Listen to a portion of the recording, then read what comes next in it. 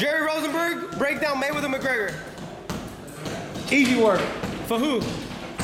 Come on, man.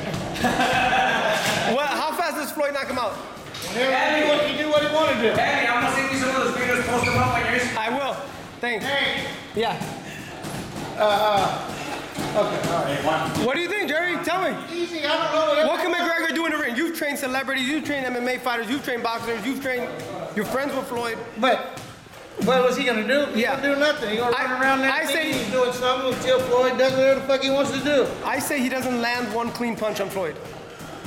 How can he land a punch? I've seen him box. Well, that too, but I mean, You never know in boxing. anything's possible, but not not not this Anything's possible except Conor McGregor. not in this time. This guy keep leaving his fucking sleeve on the table. You heard? I'm telling too. Yeah, yeah, yeah. Just playing, little dog. Delilah, get him. Get him, Delilah. Attack. attack, attack, attack. Go get him. Go get him, Delilah. Bite his eyes. so there you have it. Stay tuned. You're Jerry Rosenberg. Anything's possible except Conor McGregor. EsNewsReport.com and Malik back reporting. And Juan, tell people where to follow you. At Team Funes. Uh, IG, Juan Funes on Facebook. All right. Team Funes. Yeah, I got that video for you. Thank you.